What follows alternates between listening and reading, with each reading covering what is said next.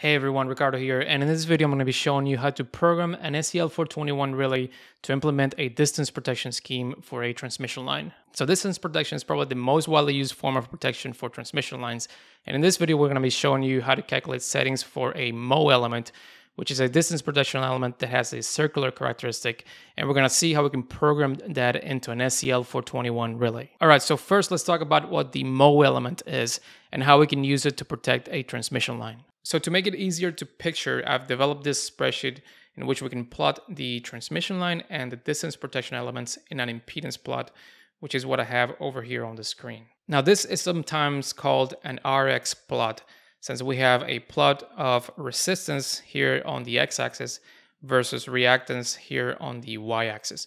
So what we can do here is plot the transmission line's impedance and the Mho elements characteristic and this is how we can visually see our settings and how they protect the transmission line. So here, for example, we can see that we have a transmission line.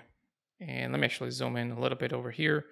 So we have, in this example, a transmission line that has a length of 10 ohms at an angle of 80 degrees. So the impedance of the transmission line that we're trying to protect is 10 ohms at 80 degrees. And we can also see how our Mho elements, in this case, we have two zones, zone one and zone two, which we're gonna talk about in more detail here in a second. But we have two protection elements that are protecting that transmission line. Now here, when there is a fault in the transmission line, the impedance that a relay will see will be a point on this transmission line. That is, of course, if there's no fault impedance. So what our Mho element does is if it detects that the impedance that the relay sees is inside its circle, one of these two circles, so this one and this one over here, it will declare a trip. And if it's outside of those circles, it will not trip. So here again, we have what we call two zones, which we'll discuss here in a second. Now, normally there is load current that flows through the transmission line. And typically the impedance that the relay will see for a load condition will be some point further out on the plot. In other words, it will be some high impedance, high magnitude impedance at a very low angle, usually around 30 degrees. Now, these two zones are used to provide protection for the entire length of the transmission line. So we're going to be using two zones, zone one and zone two, and each one of them protects a portion of the transmission line. And typically in industry, the zone one has an instantaneous trip and characteristic, meaning that it has no intentional delay. And we set it short of the remote bus for that transmission line. So in other words, if we have a transmission line that has an impedance of 10 ohms, let's say, we might set our zone one protection to be just a slightly shorter from that. So, for example, 80% of that transmission line. So, if we have a 10 ohms transmission line, then we will set that at 8 ohms so that we underreach the remote bus by some slight margin. Now, the reason why we do this is because there's always going to be errors in measurement of the impedance and current and voltage in general. So we always want to have some margin, and since this element has an instantaneous tripping characteristic, we don't want it to reach all the way to the remote bus. So we apply some margin, usually 10 to 20%. So your setting might be something like 70 to 90% of the transmission line impedance for this zone one protection since it has an instantaneous tripping characteristic. Because if we didn't implement this margin and then for some reason we set this to 100%, and there's a fault at the remote bus and there's some errors, they really might think that the fault is inside the transmission line when in reality it is at the remote bus. So we want to leave some margin so that we underreach the transmission line but just some slight margin. Again, this is because this has an instantaneous tripping characteristic. So typically a setting of 70 to 90% would work just fine. For this example, we're gonna use 80%. Now this of course leaves the remaining 10 or 20% of the transmission line unprotected.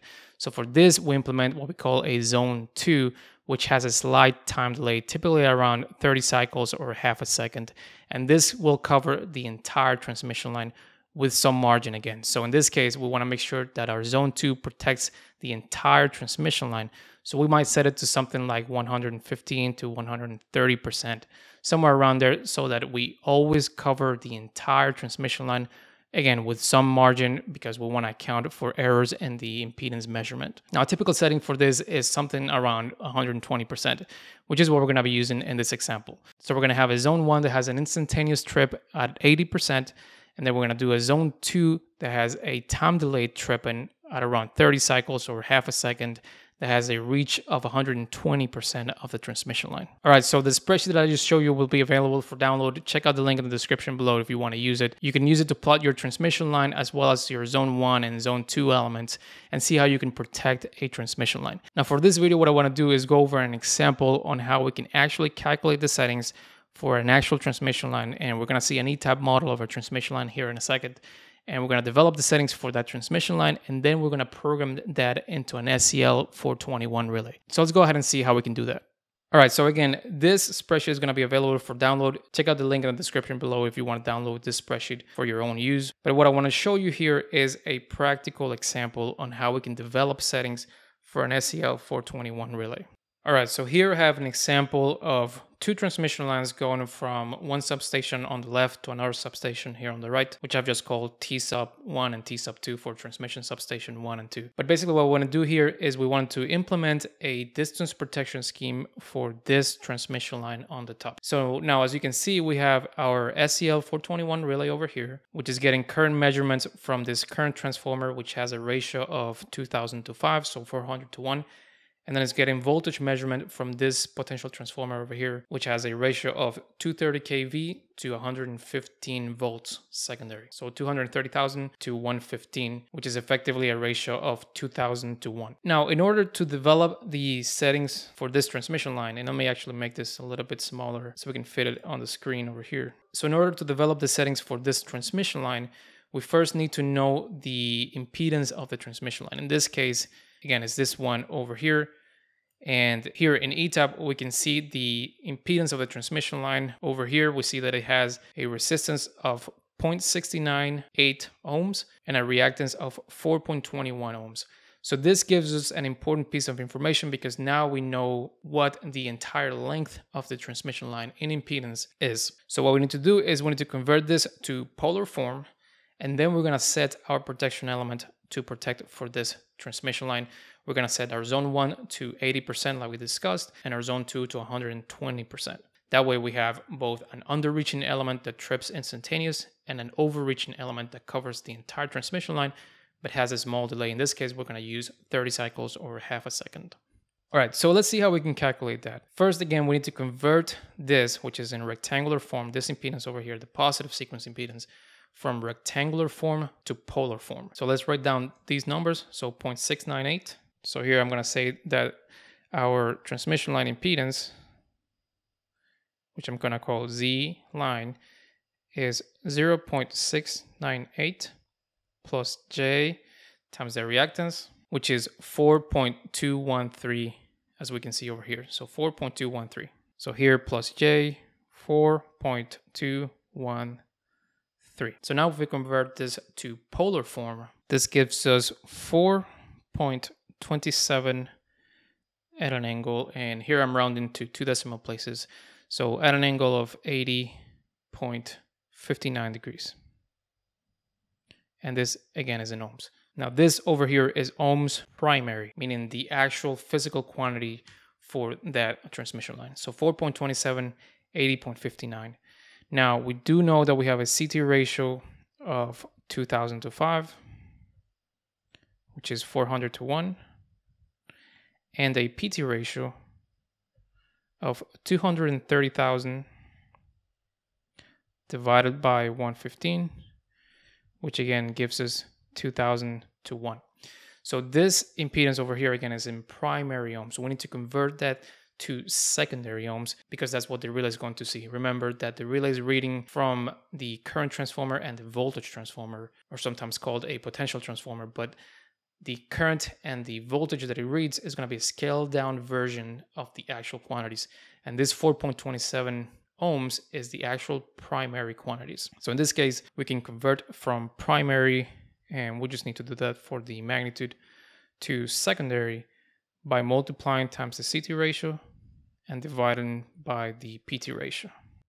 So this gives us 4.27 times 400 divided by 2000 is 0.854 and of course the angle is not going to change. So 80.59 degrees. And now this is ohms secondary. So now we can plug that into our calculator. So we can say then over here and let me actually just zoom all the way back over here. And let's just make this a little bit smaller. All right, so in our calculator then we know that the magnitude of the transmission line is 0.854. And it has an angle of this one over here, 80.59 degrees. So 80.59 degrees. Now notice over here how much that decrease. Of course, again, we had an example of a 10 ohm transmission line before.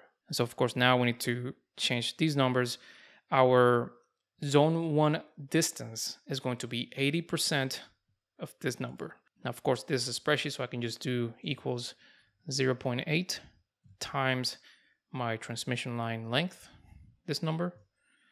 And so, of course, our zone one over here decreased, and our zone two reach is going to be 120%. So 1.2 times this number, and 1.2 times this is this number 1.02 ohms. So basically, again, let's go over this one more time. What we're saying here is that this right here is the transmission line. So T line. That's the length of the transmission line, meaning that at this point over here on an impedance plot, that's going to be the remote bus. So I'm actually get rid of this. This point over here is going to be the remote bus. Our zone one will reach up to this point on the transmission line, which we've set to 80%. So anytime that the relay is reading an impedance somewhere here, somewhere inside this circle, it is going to declare a trip instantaneously since we don't have a delay for our zone one element, which I have over here. Now, this point over here, again, is the remote bus. So you can see that that's well within our zone 2 element, which again means that anytime the relay is reading an impedance anywhere on these points, it will trip after 30 cycles. So if it reads an impedance that falls within that circle, it's going to wait 30 cycles, so half a second, and then it is going to trip. So that way we can protect the entire transmission line. All right, so that's how you can calculate the settings for the transmission line based on this example transmission line between two substations. Now let's see how we can program that into the SEL421 relay. All right, so we have our settings over here. And now let's see how we can program that into the SEL421 relay. So let's go ahead and go to QuickSet, which is the software that we can use to program the SEL421 relay. And in here, what I've done is basically just created an example settings file for a 421 relay using just default settings.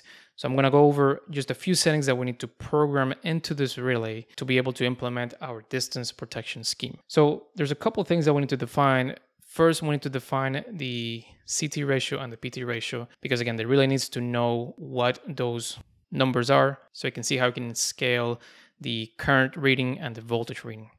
So that is going to be here under group one, set one, line configuration. And for this example, we're going to assume that we're using the W input on the relay. Again, our CT ratio was 2000 to 5, so 400 to 1. Our PT ratio was 2000 to 1, so actually the default setting in this case works just fine. We're going to assume that we're using the Y winding or the Y input for the voltage inputs on the 421 relay. And then the nominal voltage line to line, and this is secondary voltage, would then be 230 kV divided by our PT ratio, which in this case is 2000. So that gives us a nominal secondary voltage of 115. So that defines the current transformer and the voltage transformer. Now we need to tell the relay what's the impedance of the transmission line. So that's defined with these two settings over here. And here we're going to focus on the positive sequence only since we're programming a phase distance protection scheme. So Z1 mag is the magnitude of the impedance which again, we determined that before. That was this number over here, 0.854, and that's in secondary ohms, which is the way that the relay takes it as well. So 0.854 at 80.59 degrees. So here we can say 0.85. Here you have to round to two decimal places. So 80.59 degrees. And again, that's the positive sequence. We're going to ignore the zero sequence for now since we're focusing on a phase distance protection scheme. So that tells the relay what's the impedance of the transmission line. Now, of course, we need to program the distance elements, in this case, mode distance elements, and we're going to re-implement in two zones.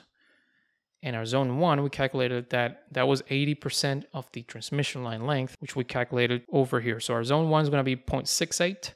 Our zone two is going to be 1.02. So 0.68 and then 1.02 for our zone 2. Now the delays, we want our zone 1 to have an instantaneous trip, so we can leave that at 0. And we want our zone 2 to have a 30 cycle delay, so half a second delay. So we can program that to 30 cycles. So now we've programmed both our zones and the transmission line length.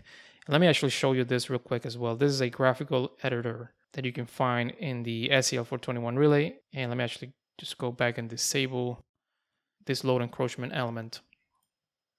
And so here you can see that this is basically the same plot that we had on the spreadsheet, which is this one over here. So basically we're plotting the transmission line, which is this line over here. We're plotting our zone one and we're plotting our zone two. So again, you can see that that matches what the relay is seeing over here because we've entered all the settings same as we calculated them in the spreadsheet. So of course, this plot is now going to match the spreadsheet. So that's a nice way that you can kind of confirm your settings within the SEL421 settings file. Now that of course programs our Mho elements, but we need to include them in a trip equation so that we can use it in a trip and output. So here I'm going to use M1P and M2PT. So these two relay Word bits and if you don't know what relay Word bits, we covered that in our power system protection courses. But basically, they are logical tags that tell the relay when a protection element has declared a trip. Now, in this case, again, we have M1P and M2PT. What that means is zone 1 trip without a time delay and zone 2 trip with the time delay. Now, in this case, technically, we could say here M1PT, which would include the time delay of the zone 1 element but we've programmed that to be zero cycles. So it doesn't really matter whether we use M1P or M1PT, they're effectively going to be the same thing. So we can just leave that at M1P and then or M2PT again. They are the logical tags that the relay uses for each protection element. In this case, M1P is the tag for zone 1 and M2P is the tag for zone 2. So now we program our trip logic and now we can go to our outputs. Let's say that we were using, for example, output 101 and we can just program this to 3pt, not tr, 3pt, which is a three pole trip based on the trip logic or trip equation as we have it over here. So here what we've done is we've programmed our phase distance elements with our settings over here. Then we routed that to a trip logic over here. And then we routed that trip logic to an output over here, which is eventually going to go, in this example at least, to a trip coil in the breaker and physically trip the breaker. All right, so that's how you program an SEL421 relay to implement a distance protection scheme. Now, if you want to learn more about power system protection and power engineering, check out our online courses, link in the description below, where we cover this topic and many other topics in power system protection in much more detail. And just a couple more things before you go. Again, if you want to download the spreadsheet that we used in this video, check out the link in the description below where you can download the spreadsheet and you can use that for your own settings. And of course, if you like this video, make sure to hit the like button and subscribe to the channel for more videos about power system protection and power engineering. And we'll see you in the next one.